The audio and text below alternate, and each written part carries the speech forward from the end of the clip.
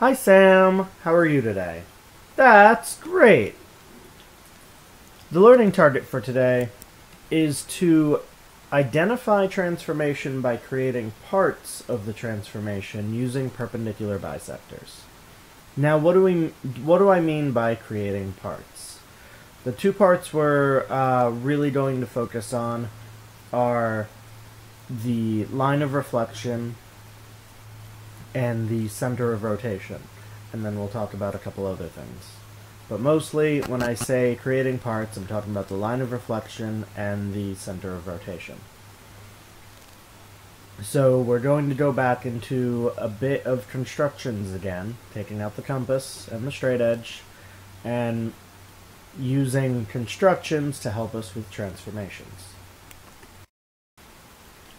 For 3, you can identify the transformation and construct the correct part. Two, you can identify the transformation, but you can't uh, construct the line of reflection or the center of rotation.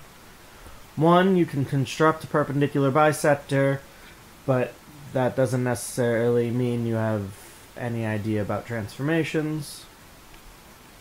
And zero, you can identify transformations, or uh, construct perpendicular bisectors. You can't do either of those things. Alright, let's get started. Alright, so before we jump into uh, any of the constructions and stuff like that, I want to start off with uh, just a little bit uh, of vocab. So first, rigid motion.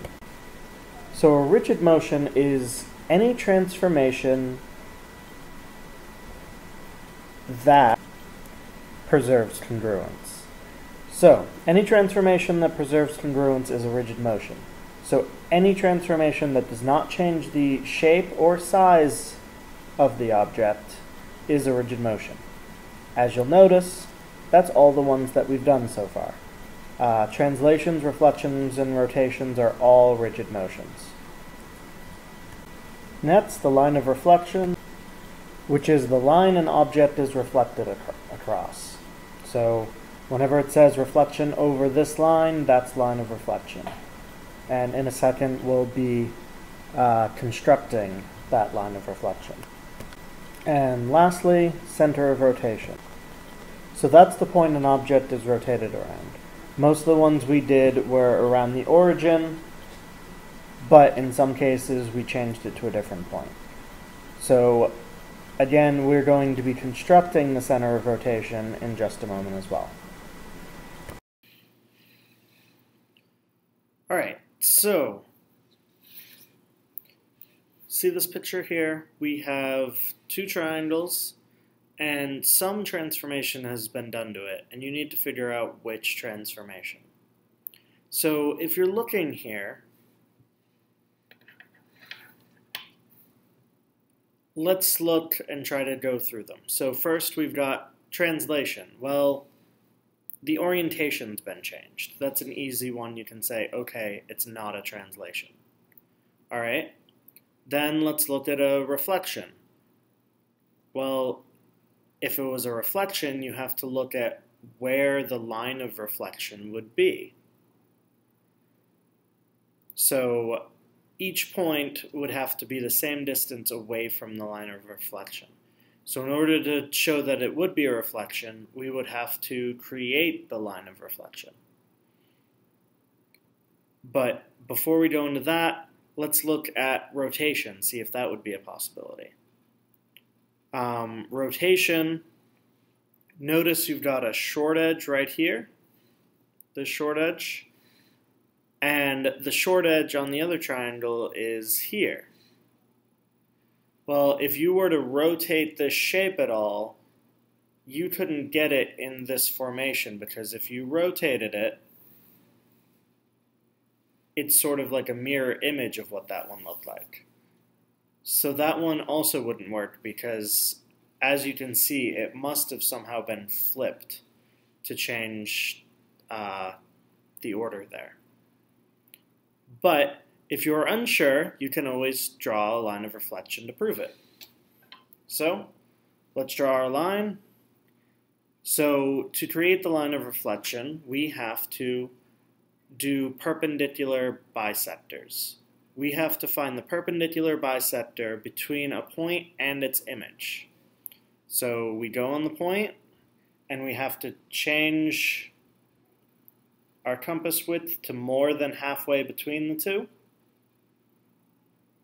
I'm picking these two points, by the way. And then we make a curve below it. And we make a curve above it. And then we go to the other point without changing the width and do the same thing.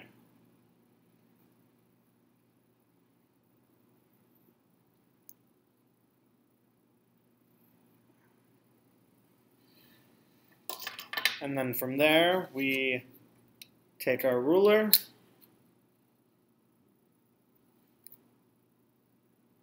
And draw the line. And to show that it would be the same, you just look between two, you can draw, all right, this is from 0 to 1, so it's 1 full inch, but it's half an inch to the line of reflection. If you pick another point, so again, it's got to be halfway.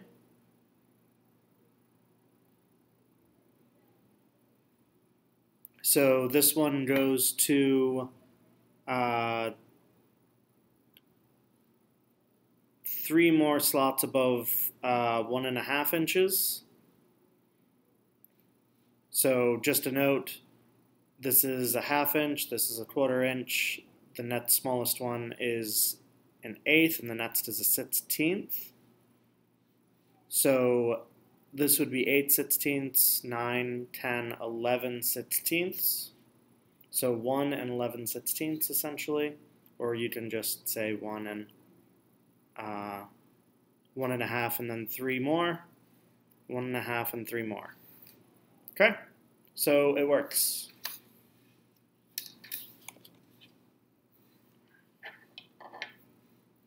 And that's how you make a line of reflection.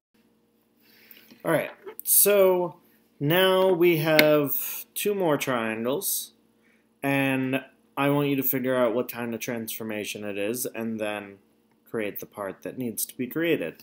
So, in this case, we have if you see A, B, C, and then A prime, B prime, C prime.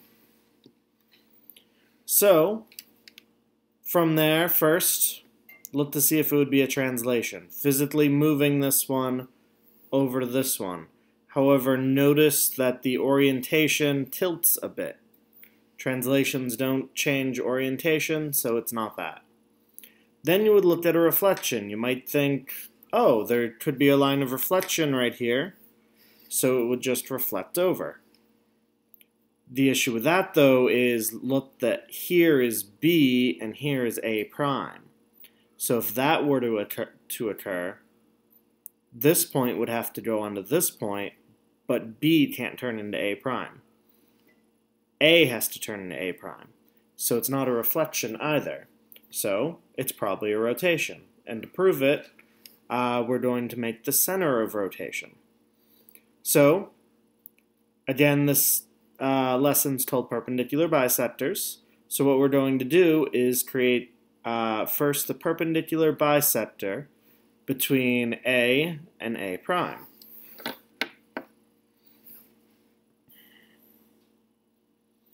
So you made sure your compass is more than halfway between A and A prime putting your point on A, and then you make a curve below and a curve above. And then without changing the width, same thing. Curve above, curve below. And this one over here, I'll have to make a bit wider because it didn't go quite far enough. Okay.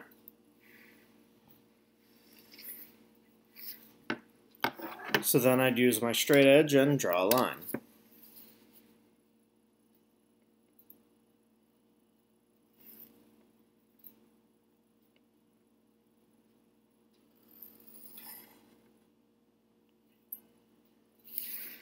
Okay.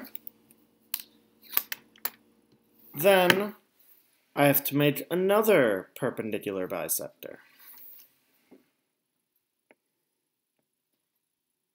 So let's this time go from B to B prime. You have to go from one point to its image. So more than halfway, make an arc below, uh, an arc above, same thing on the other side. Above, or below, above, and then this one I'll have to extend.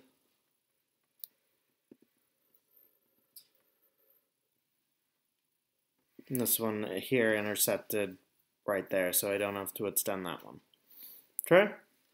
So then I make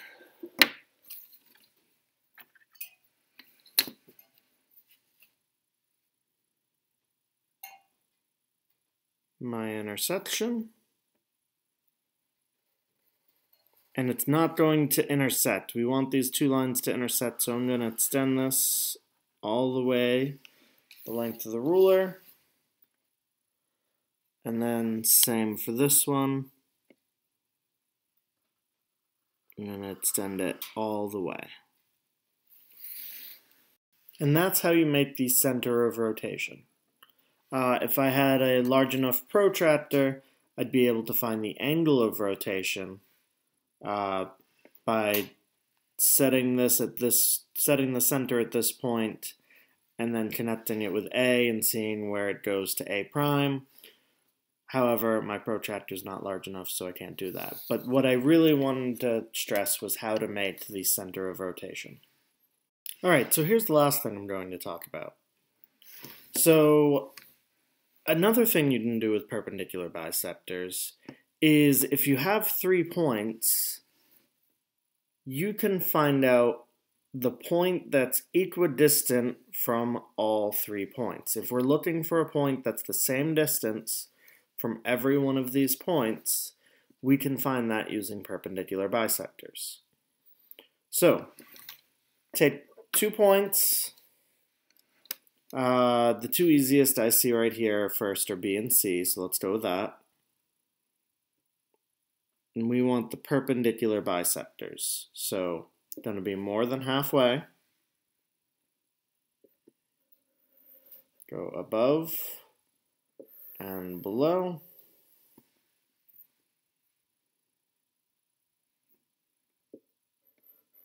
Above and below. I keep getting it, so it's like perfect intersection right there. All right, and then we connect them.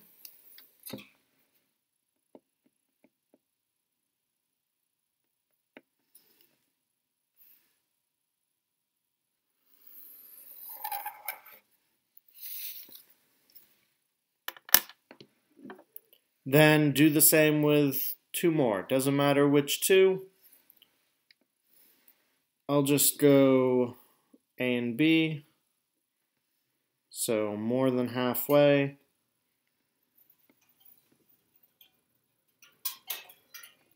Above and below.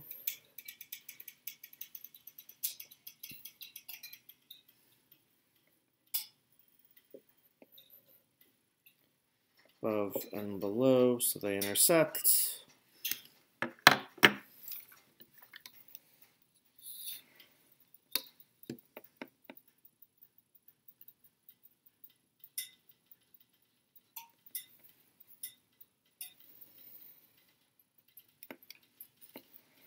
Okay.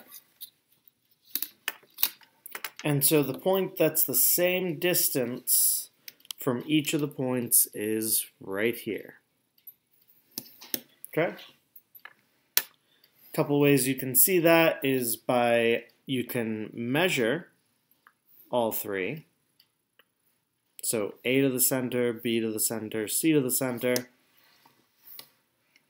Another interesting way to do it is so do you remember when we talked about points in a shape being equidistant from the center? So the only shape that does that for every point on the shape is a circle. So that means this right here is the center of a circle. And to see if it works, what we need to do is change the width to be the width from the center to one of the points, and we should be able to make a circle out of it using the compass. So let's try it.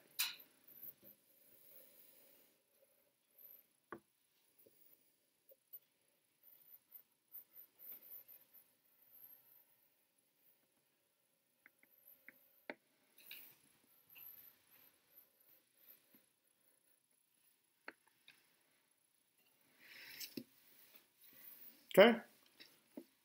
Pretty decent. Went through each of the points. They're kind of big points, so it might be a little off, but so it went through each of the points and it made a circle.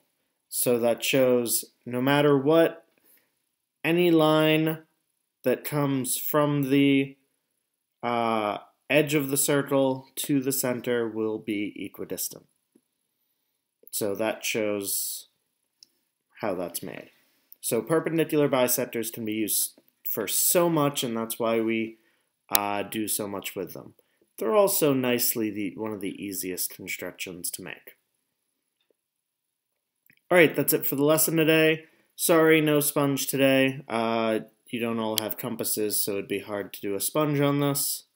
Um, don't worry, we'll have a sponge when we get to the next video. Um, once again, please make sure to take notes on the entire lesson.